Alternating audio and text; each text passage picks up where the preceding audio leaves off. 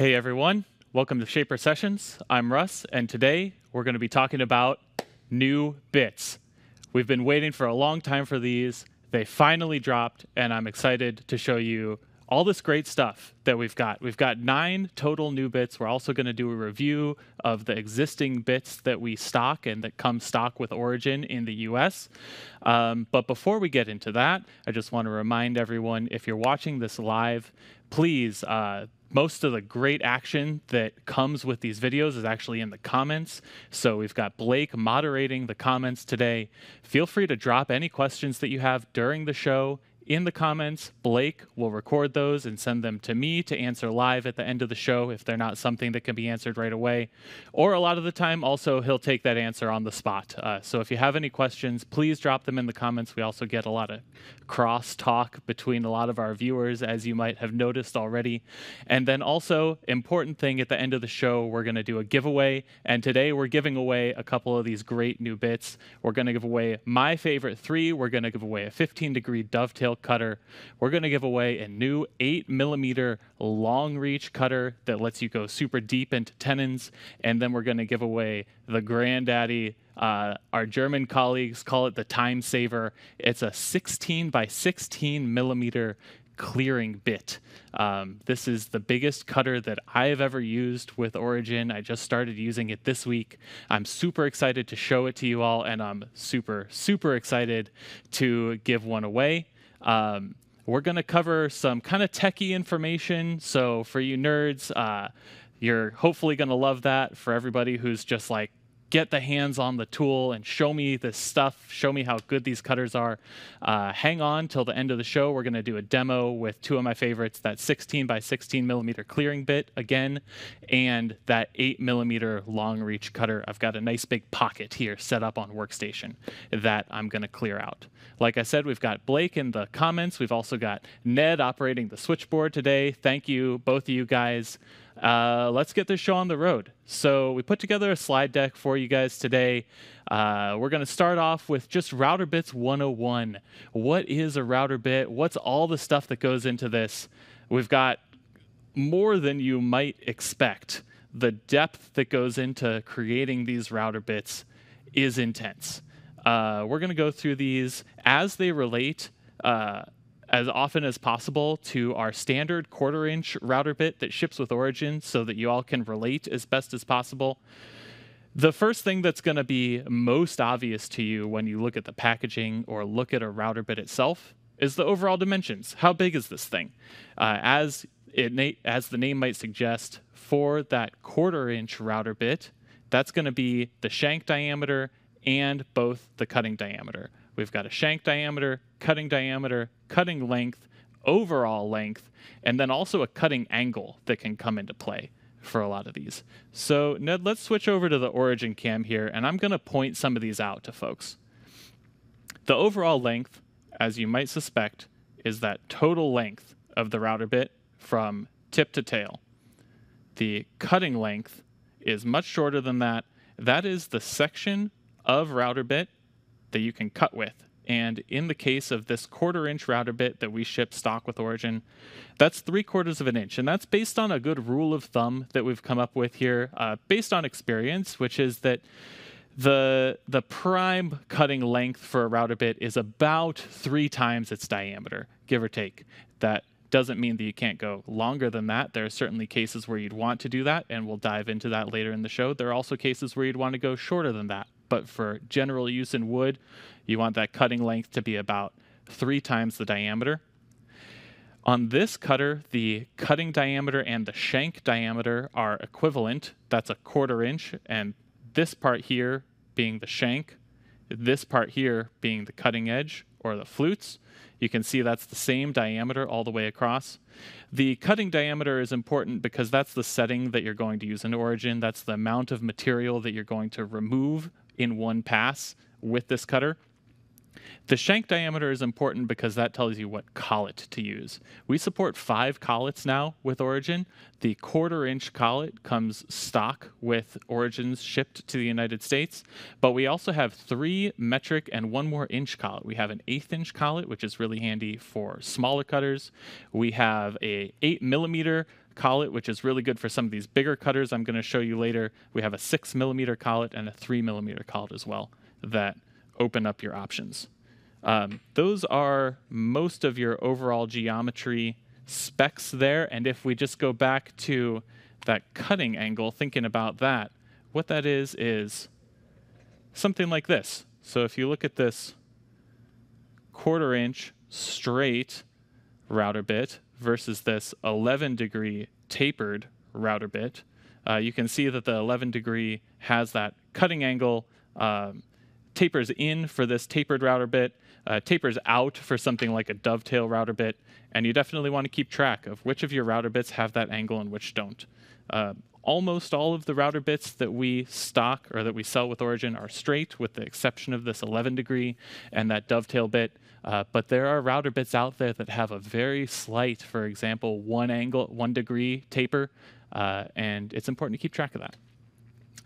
Let's go back to that overview page. We've got all of your geometry, uh, overall dimensions. Now let's dive into flute geometry. The flutes are the both cutting edge and then that hollow area surrounding the cutting edge that allows you to cut and evacuate material from your workpiece. And there are a lot of considerations that go into this. We've got listed out here spiral direction, so that's up spiral, down spiral, compression, straight flutes. I'll show you all these in a minute. We've got number of flutes, uh, a lot of these router bits, most of the ones that we sell have two flutes. That's very common for wood, but there are cases where you want more or less. Less being one flute or one cutting edge, more being, for example, three. We now stock two router bits that have three cutting edges. Uh, end geometry, most of our router bits have a flat end. Some of them now have a round or a ball nose. Um, some of them also have something that's called a fishtail or a crescent end, and I'll show you those in a second. And then center cutting, which is very important. So let's switch back to Origin Cam again and do a comparison with this quarter inch router bit. Now, this is the way you'd install that quarter inch router bit in Origin. And you can see that as I turn the tool, those flutes look like they are spiraling upwards. And we call this an up spiral or up helix router bit. Um, that's that spiral direction. There are a lot of different variants on that. We also have, not for sale, but uh, possible as an option, a down spiral router bit.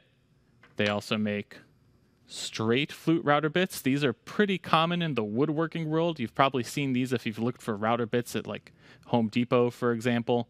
These have straight carbide pieces brazed onto a steel shank.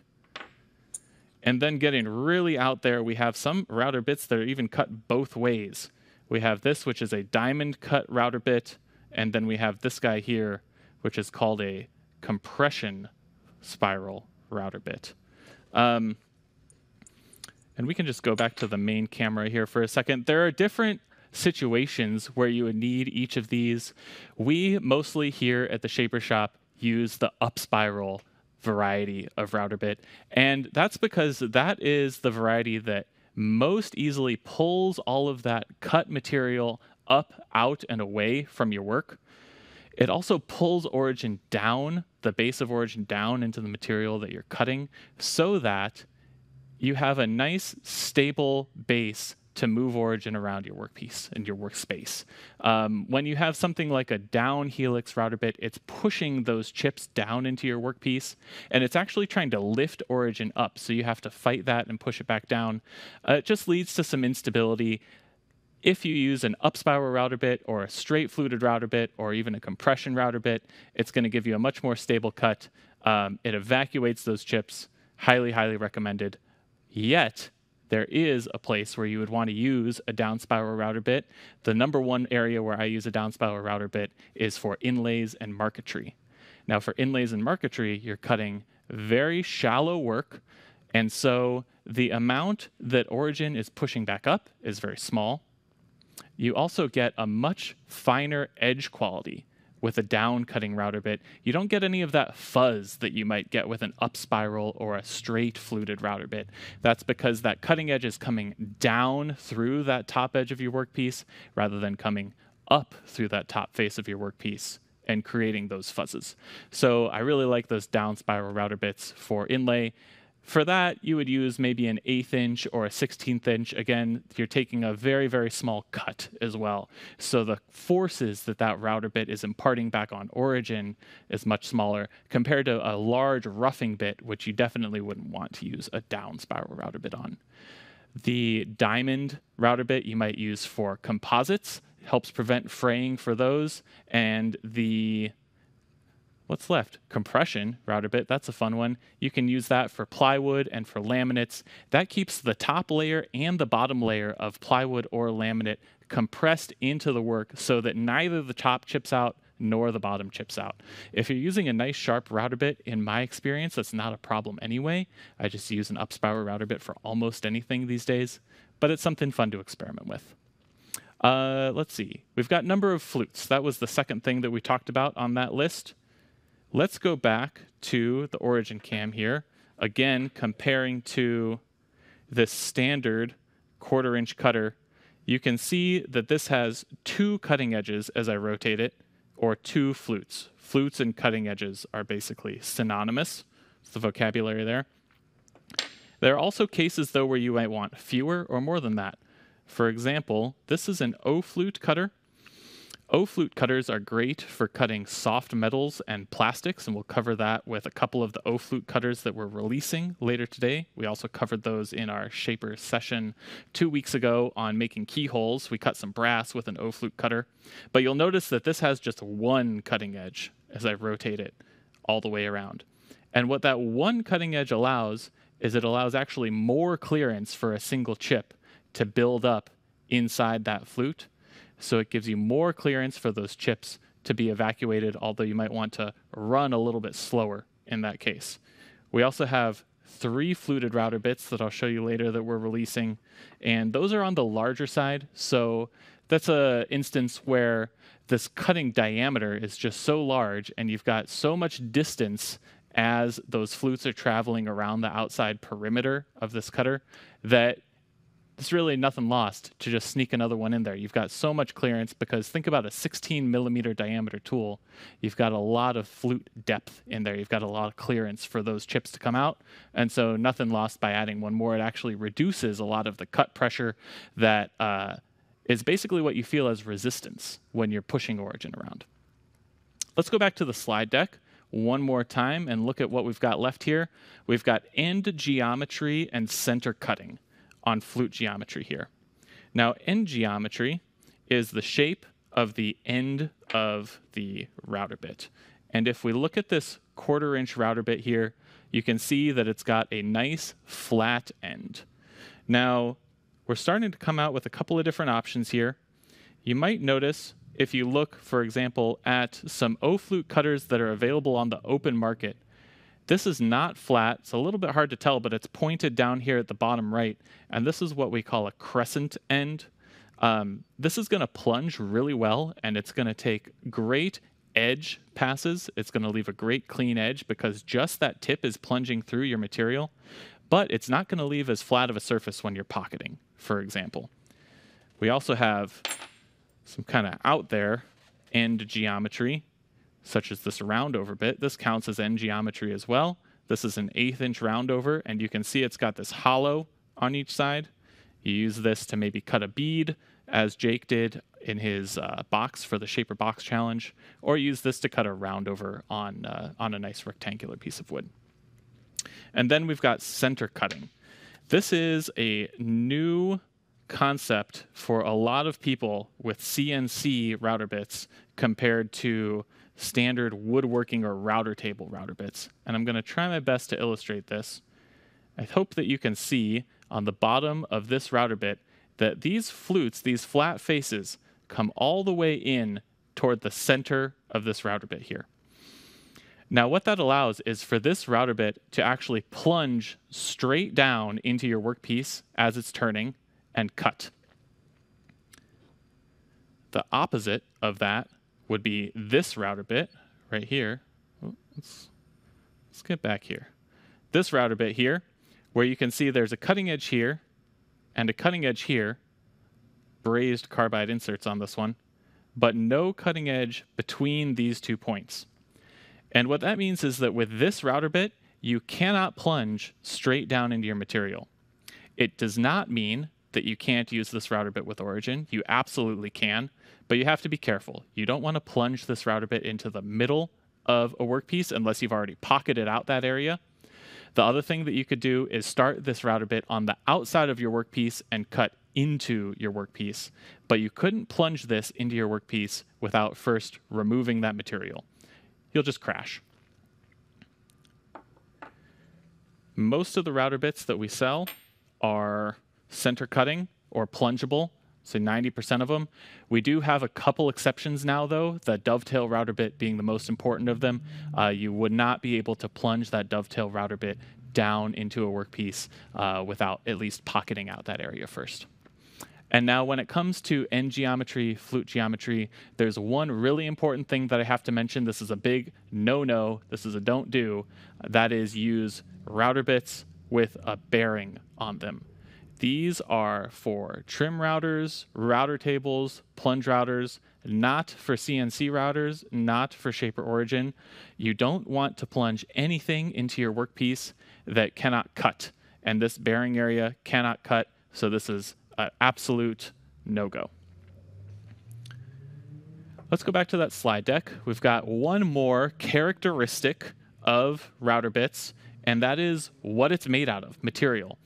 Um, there are three materials basically that a router bit could be made out of. I completely omitted the third because it's not even worth storing in your memory. And that option is high speed steel or a completely steel router bit.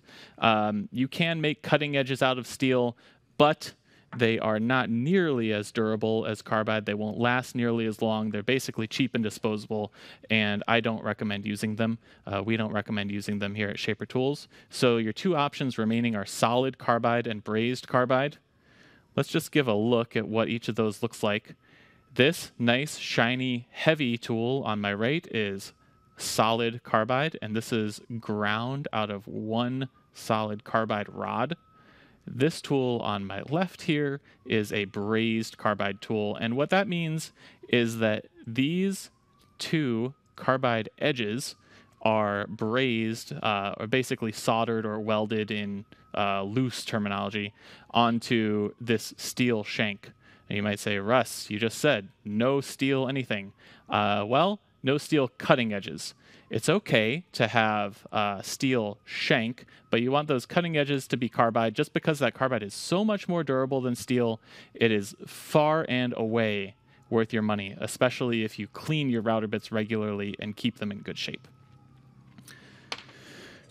So, okay, man, uh, I hope everyone learned something there. I know that was a lot to digest. We're going to apply that new knowledge to all the router bits that we are launching now here at Shaper Tools.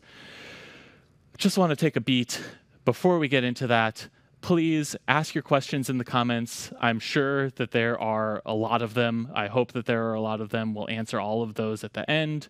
Um, also, answer the poll question that's going to pop up or maybe already has popped up at the bottom of your screen to enter our giveaway if you're watching live. And again, we're giving away three new router bits today. My favorites a dovetail router bit, an 8 millimeter long reach router bit, and a 16 millimeter by 16 millimeter big honkin' clearing bit um, and answer that poll question to enter the giveaway.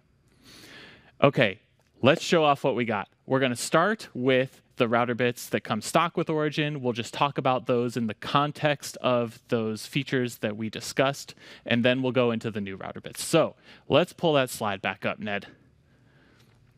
All right, this is our quarter inch router bit, uh, quarter inch by three quarter inch up spiral. This is the router bit that you know and love. We use it more often than anything else here with Shaper sessions. It's a nice two flute straight end mill router bit geometry. Um, pretty classic, honestly. You can do almost everything that you want to do with Shaper Origin with this router bit. Um, it's got nice straight uh, cutting angle so that you can get nice straight sides on your tenons, for example.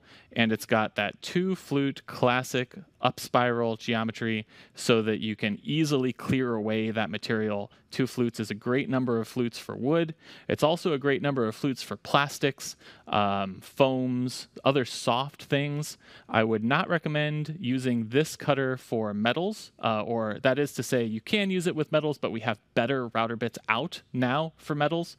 Other than soft metals, this is a great all around router bit. Let's pop to the slide for our eighth inch router bit. Again, this comes stock with Origin. This is basically that same geometry as the quarter inch cutter, but a slightly smaller cutting diameter and a slightly shorter cutting length. And again, that is because when you think about cutting length, it's almost like thinking of a diving board uh, or walking the plank on a pirate ship. The longer the plank or the longer the diving board, the longer that end is going to bounce or the more deflection that you're going to have. Uh, if you think of walking out on a very thin diving board, that's going to deflect more for a given distance than a thick diving board. And so for larger diameter cutters, we can increase that cutting length really easily. And for smaller diameter cutters, you definitely want to bring that cutting length back a little bit. So this is an eighth inch by a half inch uh, router bit. That's pushing that three to one ratio that I mentioned before a little bit, but we've found that this works really well. Um, this works especially well for inlays if you're going to do inlays with out of the box origin router bits, especially if it's sharp. If you're going to be doing a lot of inlays, I recommend going for an even smaller diameter router bit and that down cutting helix geometry. And last but not least, out of our basic origin kit, there is the engraving bit.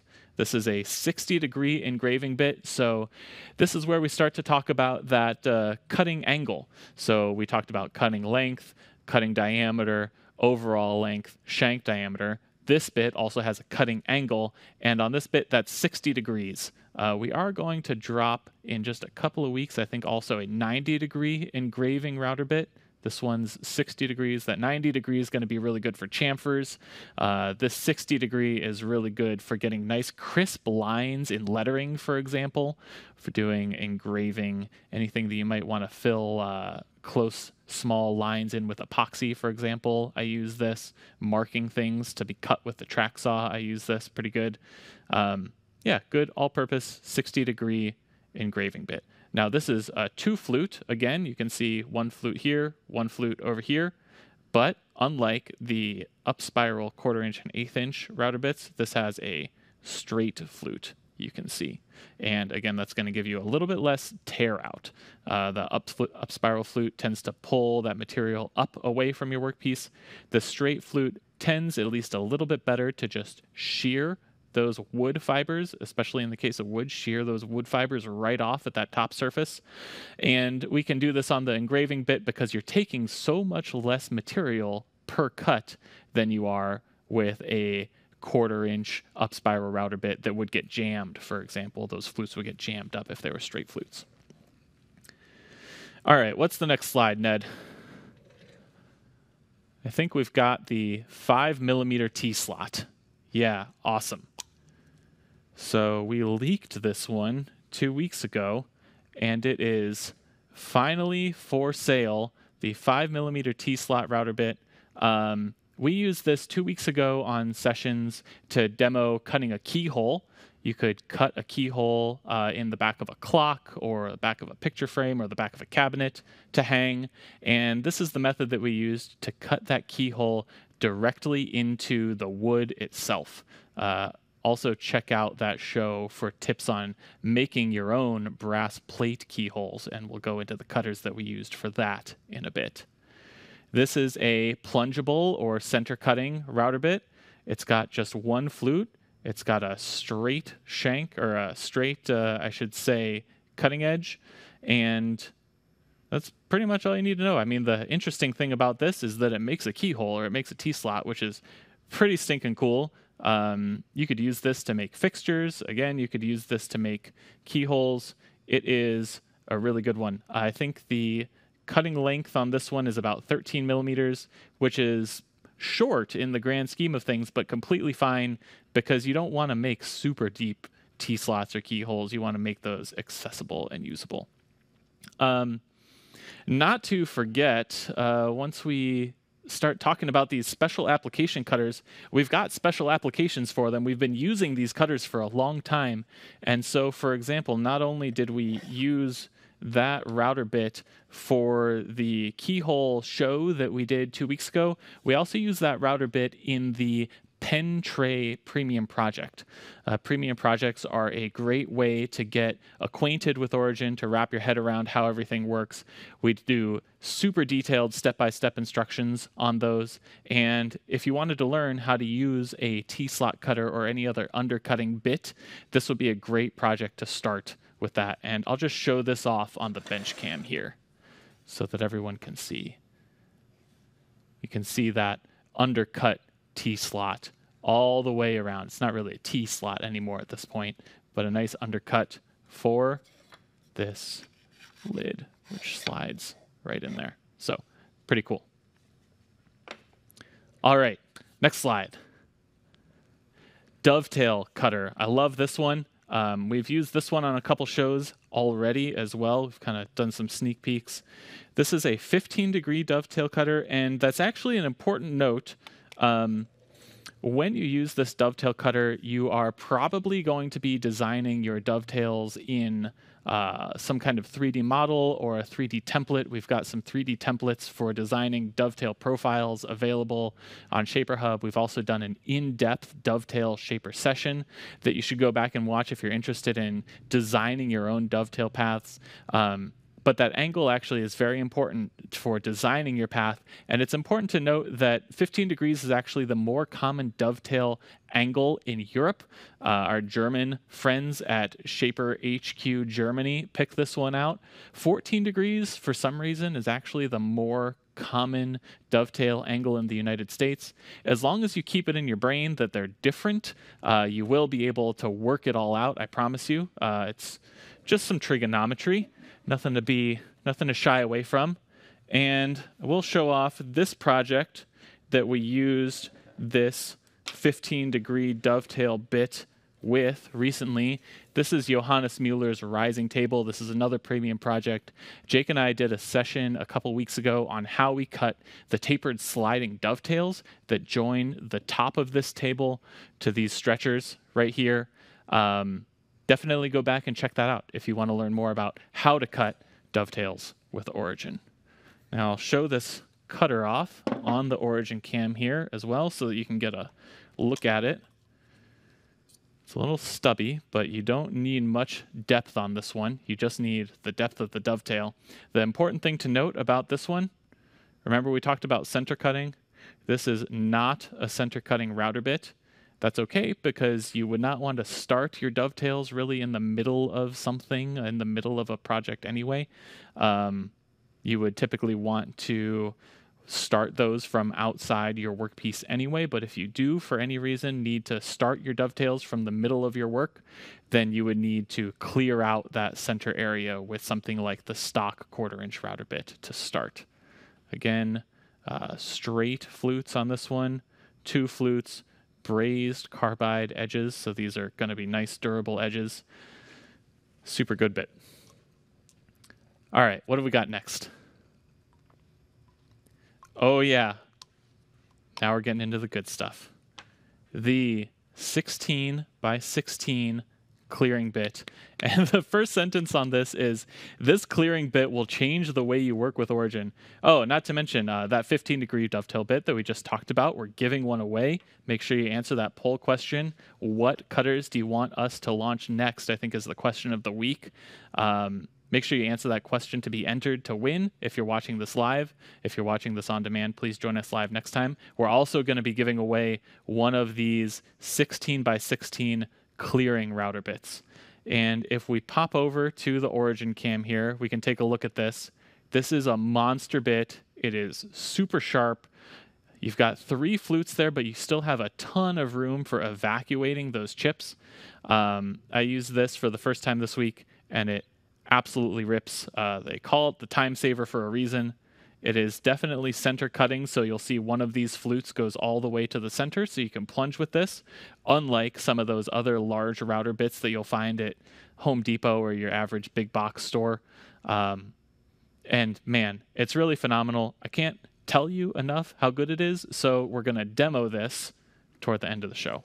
We know everybody loves a good demo. All right, next slide.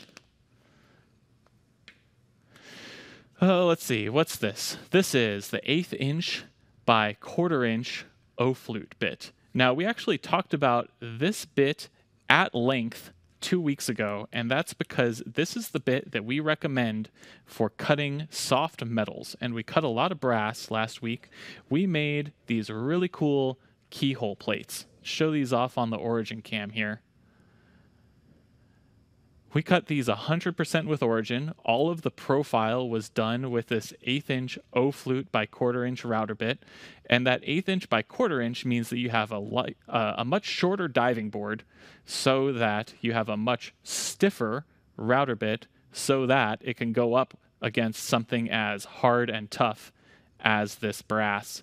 And then for these countersinks here, we use that 90 degree engraving bit, which is on the way. We're going to have to do a show about that one once it's launched. Let's take a look at this router bit, though. That's what you're here for. This is that eighth inch by quarter inch O flute router bit. And like I mentioned with the larger O flute earlier, it's a single flute, um, and O basically means single flute plus extra flute clearance. So this really evacuates the chips, gets them out of there. It's got a super sharp edge, which is good for shearing those soft metals. And these are also really good for plastics. Um, plastics, you definitely want to evacuate those chips. You want to use that super sharp edge so that it cuts rather than melts the plastic. This is really good for that. Moving on, next up, we have an eighth inch by half inch O flute router bit. Basically the same thing, but a little bit longer. Again, thinking about that diving board analogy, this bit is going to be a little bit flexier. It's kind of tricky to think about because if you hold these in your hand, you think, man, these are not flexy at all. They're solid carbide, which is one of the stiffest materials on earth. But when you uh, are cutting you know, metals or plastics at 18,000 RPM in Shaper Origin, every little bit matters. Uh, and so we do recommend this preferably for plastics rather than metals because that extra length uh, really impacts the stiffness of that. And for you engineering nerds out there, especially mechanical engineering nerds or people who love math and equations, a good rule of thumb for this is that the stiffness of a beam, the equation for the stiffness of a beam, which this basically is, supported at one end, is a cubic function of length. And so that means that if you double the length, it's actually eight times less stiff or eight times more deflection at this free end. We're imagining this end held completely rigidly in the collet and this cutting end being the free end.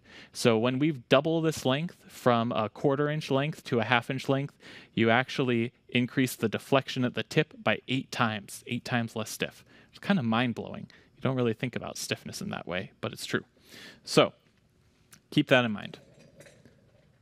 Next router bit, we've got another Big Papa coming up We've got the 8 millimeter long reach router bit, and we're going to be giving one of these away today as well. We're going to demo this later also. This is the longest router bit that we have sold at Shaper. Um, and this is really great for super deep tenons. Uh, we're going to finish the wall of a pretty deep bowl today. And what's so great about this is you can do all that finishing, uh, super long length, in one pass. If you've tried to make tenons with origin that are longer than three quarter of an inch, you know that you have to do it in steps. It's a little bit of a hassle. Um, so this router bit solves that problem. It's super sharp. It leaves a great finishing pass. Uh, somehow miraculously, it's also really good at roughing at the same time. Probably has something to do with again having those three flutes, so it reduces that cut pressure per flute as with most of our tools, it is center cutting, so you can see that one flute going all the way into the center, so it cuts as you plunge. Very, very important. And uh, don't have enough good things to say about this bit. The proof is in the pudding, and we'll see it work in action later. We've got a couple more. We are coming back to a more ordinary router bit. This is for folks that are just dipping their toes in the water of new router bits. You might say, wow, that looks an awful lot like your eighth inch by three quarter router bit. And that's because it is an awful lot like our eighth or sorry, eighth inch, quarter inch, quarter inch by three quarter router bit. That's because this is a quarter inch by one inch router bit. It's just a skosh longer, as we say in the Midwest. Uh, and it'll get you just a little bit extra reach for all the same things that that 8 millimeter cutter will do uh, a little bit more reach on tenons a little bit more reach on pockets. Um, the trade-off there is that since this is again the same diameter but longer it might be a little bit more chattery or you might have to dial it back just a little bit with the uh, aggressiveness of your cuts when you're using this router bit here. But another super great all-arounder. Um, and the benefit of this compared to some of those other crazy, longer, stiffer router bits is that this one's going to be a little bit cheaper, uh, less expensive, still super high quality. It's just less carbide. Uh, when you're starting with a quarter inch, there's a lot less to grind away than when you're starting with 8 millimeters. Or in the case of that 16 millimeter solid carbide tool, you're starting with a solid 16 millimeter rod of carbide that needs to be ground into that tool that uh, that you saw just a moment ago. Uh, so great quality, a little bit less expensive, but still a really good all-around tool for getting just a little bit more reach. Okay, I think we're coming close to the end. I think we got two left. This one is going back to that cut angle that we were talking about earlier. This is an 11 degree tapered ball nose bit. You can see a very small ball nose at the end up there. And this is cool for adding profiles to your work. This is also really cool for wedged tenons. That's where we've used a bit like this the most. And I've got a little prop over here. You may have seen this before. This is our this is from our old friend the trestle bench. So the trestle bench is a project that we released about a year ago. This is a good one. This is a small piece from it, but you can see we've got this wedge, a wedged tenon right here. And if I hold this up to the bench cam, you can see that perfect fit between the two. So this wedge is really made exactly for this tenon. And that's because we've used the same 11 degree taper to cut both. We'll take a pass straight through the tenon with that 11 degree tapered router bit. And then what we actually do is make a lot of these up on end in the end grain of a piece of wood so that the grain is running along the length of the wedge. Take these over to the chop saw or to the bandsaw and then cut them off. And then you've got a whole bunch of wedges that you're ready to use for your wedge tenons. And you've got that perfect fit. So you've got a really good glue surface there. Good even pressure as well. So that's a cool one. Um, that's good, very general purpose, good for woods. Um, good for plastics as well. You could use it for plastics. It uh, does get pretty narrow there toward the end, which does not mean that it's actually less stiff because it's that taper, so it's actually supported more the uh, the closer you get to that shank diameter. It's supported surprisingly well, as opposed to an eighth inch diameter cutter that's an eighth inch all the way along. But those cutting flutes get really, really small, so you want to make sure that you're working with a material that's in a way compressible enough that the material that you're cutting away can fit in those flutes and be removed by those flutes. So that's a good one. And I think, last but not least, Ned, is this the last slide? I hope it is. I'm running out of breath. I want to do a demo over here. I want to cut some stuff. Um, this is a cool one, long awaited, quarter inch ball nose router bit. And this is a quarter inch by three cutter, so same cutting geometry more or less as our quarter inch by three quarter straight flute, or uh, not straight flute, but straight sided uh, up spiral router bit. But it's got that rounded ball nose on the end.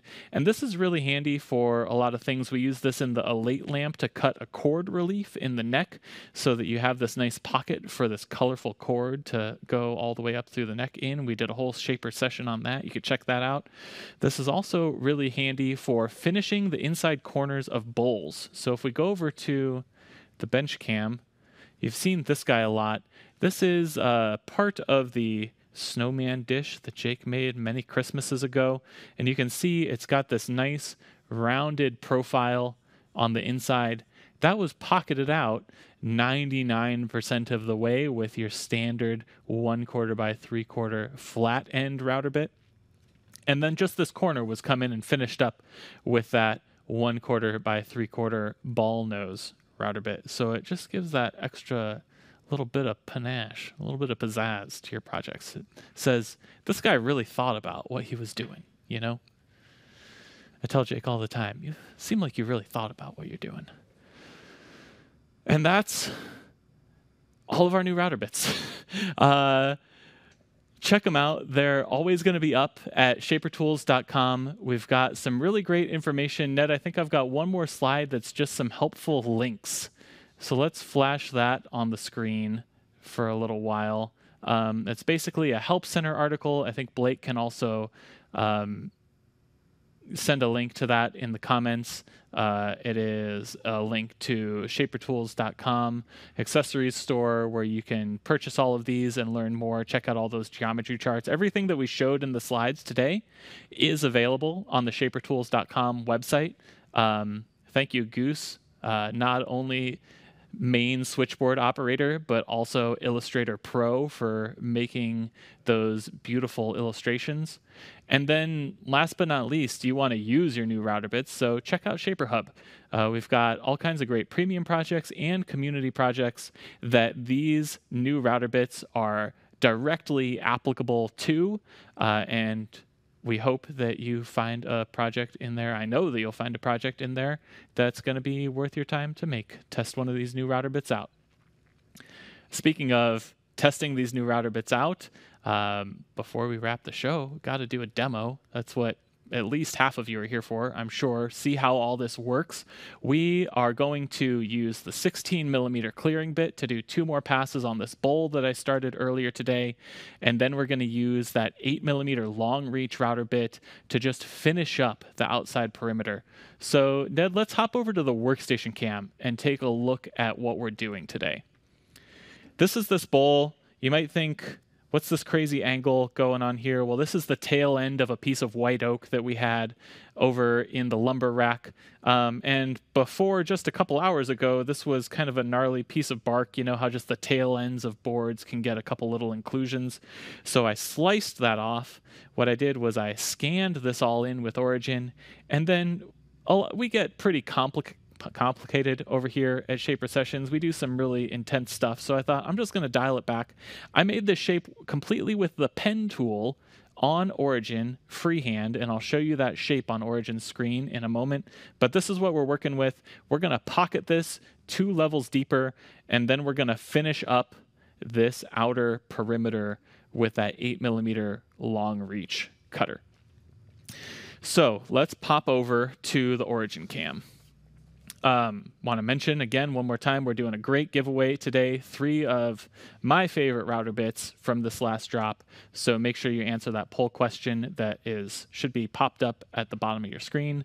Also, more questions is better. If you're watching this live, we're going to get to those in probably about 15 minutes here. We'll do that live Q&A.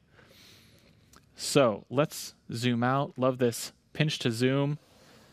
You can see that if I hop into design mode here, you can see my design highlighted in green here. Um, there's no grid. This is just a shape that I plunked down with the pen tool. You go here, create, pen, and I drop these vertices freehand based on the image. Uh, we do a lot of really complicated stuff here. We make grids, we make cut files in advance in Illustrator. I thought today, you know, one of the cool things about wood is that it's organic. And one of the cool things about Origin is that you can use this image here to work with the piece of wood that you have and the unique characteristics of that piece of wood that you have. So I just scanned this piece in and I incorporated that little slice off of the corner. So you can see that my pocket's got that nice angle.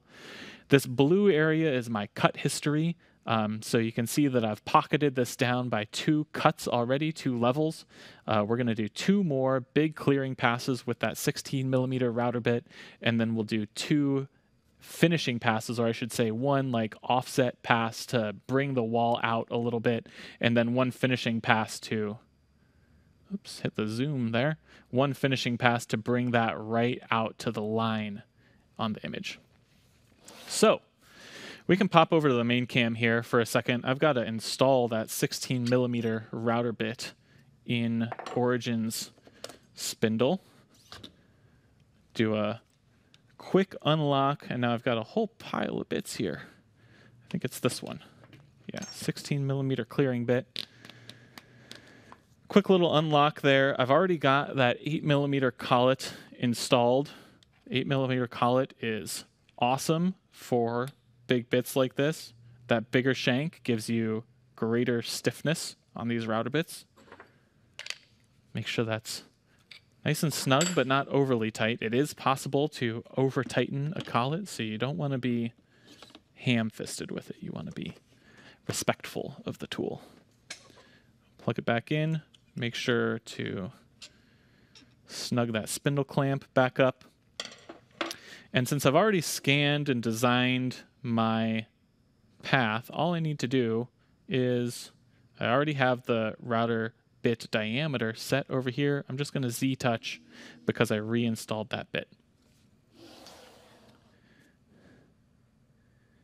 We're at 19 millimeters depth now.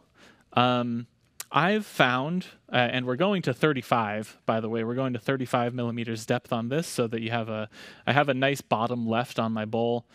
Um, you're going to want to experiment with these router bits. We have some guidelines out on our website, especially in that Help Center article, that give you approximations of what you can do with these router bits, but really all materials are very different. Um, it's not really completely sufficient to say uh, hardwoods can be this because the hardwoods are many different hardnesses.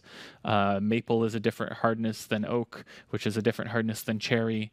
And also the grains of different woods cut differently. Uh, oak is a very open grained wood, and so it tends to be a little chippier, a little more splintery. And so as opposed to a more uh, consistent wood, a nice closed grain, consistent wood. I'm going to be a little more conservative in my cuts in this because I don't want to pop a big chunk off. That'll be real herky jerky here. But it is, uh, I do want to show you all what this bit can do. So we are going to do an extra eight millimeters of depth here. So we're going to do two more eight millimeter depth passes. And that is eight millimeters deep by 16 millimeters wide. So we're really removing a ton of material here, and you can see why we call it the time saver. So done. We'll calculate that. Um, just going through my list of cut settings here, we've got the depth. I'm doing a pocketing cut. Pocketing includes this offset, so you can see the gap between the blue on the screen, which is where my cut is, and that crosshatch, which is where the pocketing pattern is, and that green line, which is the edge of my actual cut path. Um, so pocketing has that automatic roughing offset built in. I'm not going to add any more to that. 16 millimeters is my cut diameter. Z-touch uh, I've just done, and I will make a note that I've turned down my plunge speed from the default 400 millimeters to 250 millimeters per minute. That was based on our recommendations in that sheet in the Help Center. And I think that's a good plunge speed. You can hear when this bit starts to plunge a little bit into the workpiece that the that Origin spindle does slow down just a touch. You can hear the uh, tone of that spindle go down just by a couple little semitones, you know. Um, and so that's a good indicator that you're working right about at Origin's limit. So it's good that we turn that plunge down, but we're pocketing, so auto feed is not really applicable here. I'm just going to feed it by hand, and I'm not going to take it easy on this. Um, I will note also that the spindle speed here is set at four which is the recommendation that we have in the Help Center. And with that, I think we're all set. I'm going to let her rip for two more pocketing passes, and then we'll switch to that 8 millimeter uh, long reach bit to clear up the wall. Let's go.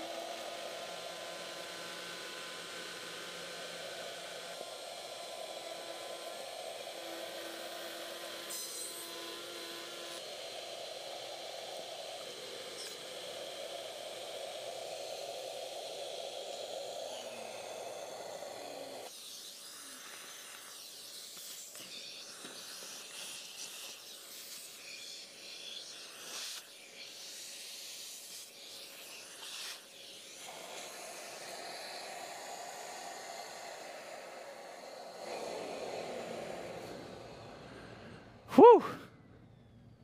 Whew. What a rush. Okay, uh, let's switch over to that workstation cam. You all can probably tell that I've pepped up a lot. Man, that's fun. Um, so we just took an extra 16 millimeters of depth out of this pocket, super fast. Um, might be a little bit difficult to tell. We'll separate this part once we do that 8 millimeter finishing pass on the wall, uh, but the bottom of this is super smooth.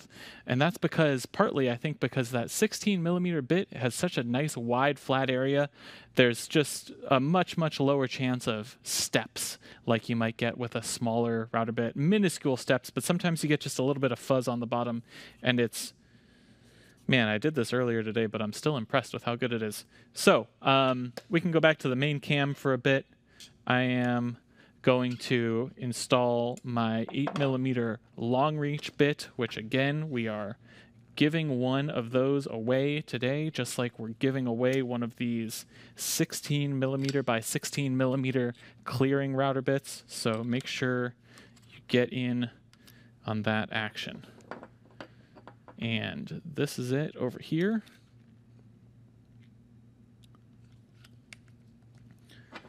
We're going to do this in two passes. We're going to, because we just want to remove a little bit of material for the final pass, we're going to do basically the equivalent of a roughing pass and finishing pass. And I'm going to just hold this spindle a little bit up as I clamp it. This is a pro tip because this router bit's so long you have to be careful of it uh, dragging on the work surface if you leave a little bit too much of it hanging out of the spindle. Uh, we talk about that in our Origin Pro Tips session, how to get the maximum use out of a long reach cutter. So if you're interested in that, go back and check that one out.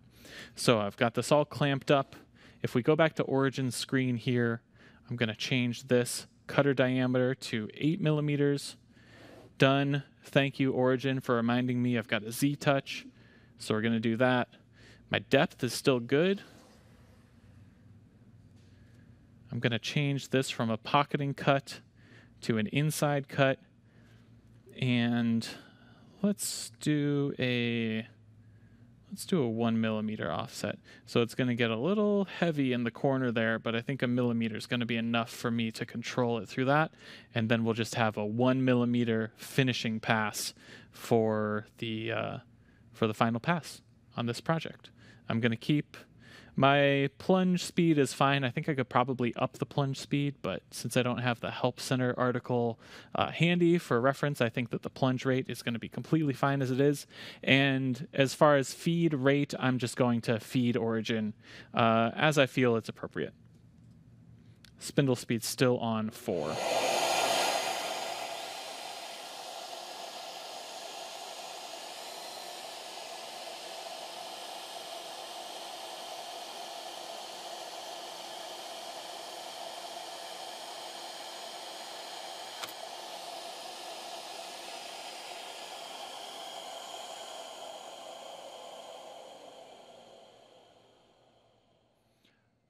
Well, maybe that was a bit much. Uh, that's what I get for trying this for the first time live. It is a live show, but this is a great opportunity to show off how Origin saves you from yourself. Uh, that's basically a quick overload error. It said, hey, hold on there, buddy. You're taking way too much. Um, did not practice this cut before the live show. Sometimes we get a little fast and loose over here. Like I said, this oak is a little bit chippy because it's so open grained. So what happened there is a bit of oak just splintered off. But if we go over to the workstation cam, you'll see that Origin automatically retracts that router bit like it's supposed to. I think that it has not like marred the project at all. It did exactly what it's supposed to do. Um, it's autocorrect for your hands and it prevents you from making mistakes like to the farthest extent possible. So we're actually going to take this in a couple of steps. Um, we'll do maybe two depth passes and then we'll do just one finishing pass at that full depth. Um, we'll slow it down just a little bit. And we should not get any overload errors at that point. Admittedly, I was pushing that one. So, and we do want to set you all up for success here. So let's take this and divide it by 2. 17.5. That sounds pretty reasonable. Let's give it a shot. Um, and the moral of the story here is that it's all about trial and error. Uh, we can set you up as well as we can with help center articles and recommendations. But for a specific material and a specific project, um, you might have to make some mistakes occasionally, and that's how we all learn. So here we go.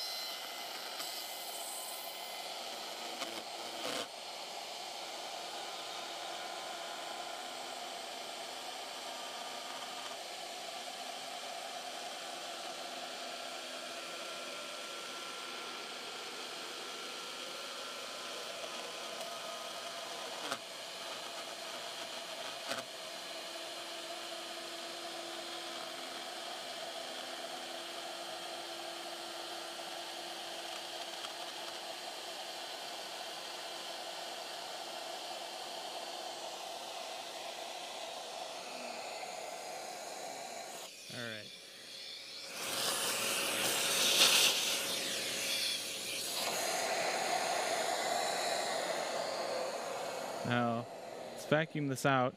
So a little bit chippy. So, man, gonna have to take it just even slower, honestly, I gotta say.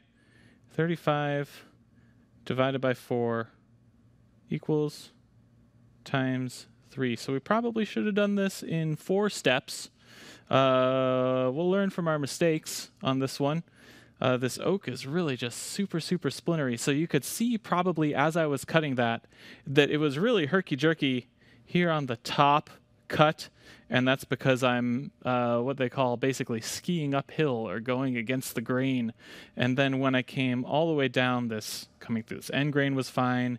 This was buttery smooth down here because you're going with the grain.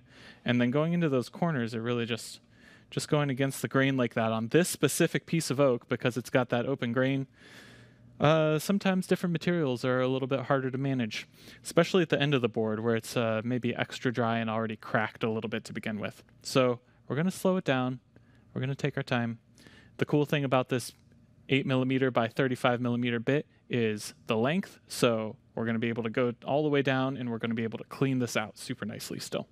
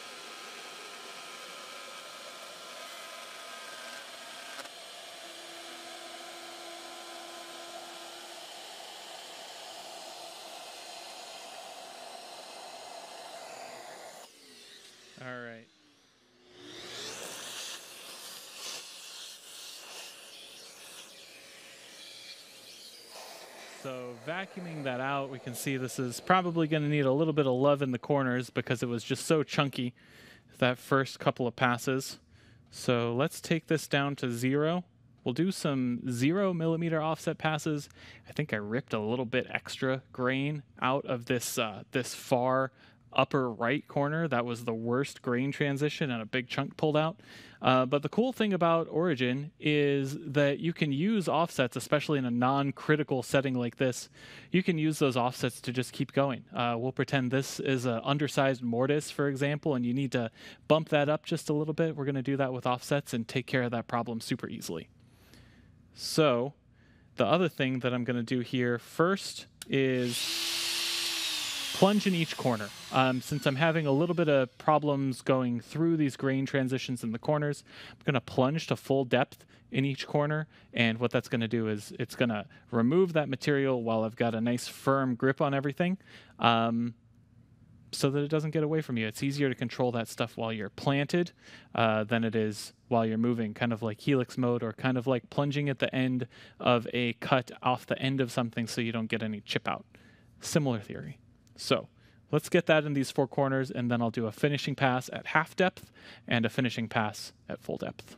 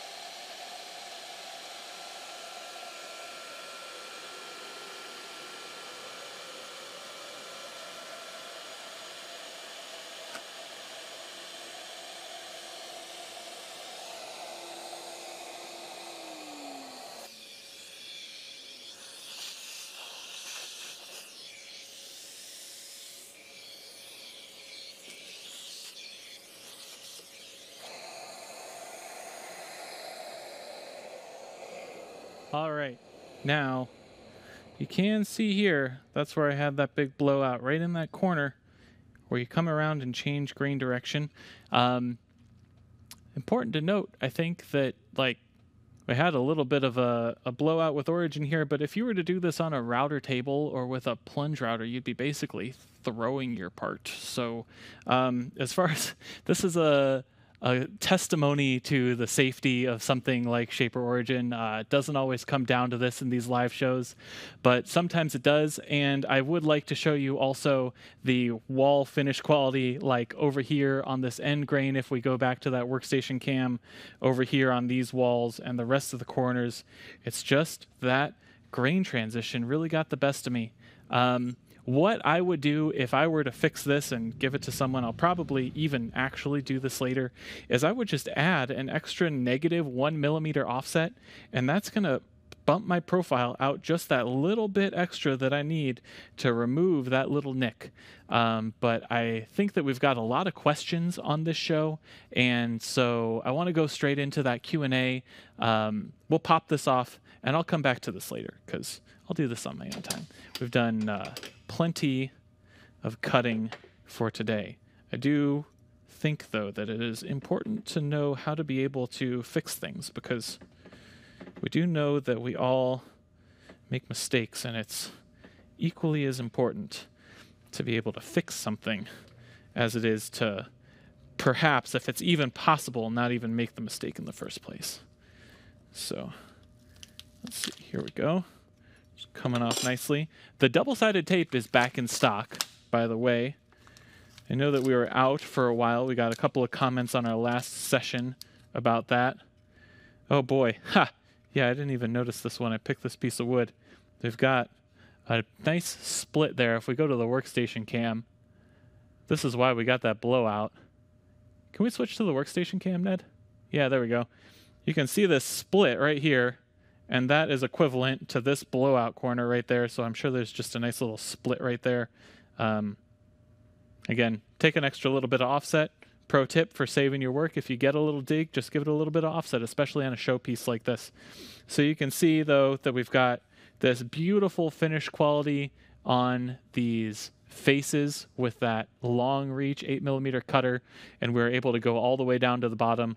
We've also got that beautiful finish quality on the bottom of the pocket which is pretty hard to get any other way uh, with that nice 16 millimeter clearing bit. And that's the show. We'll see you next time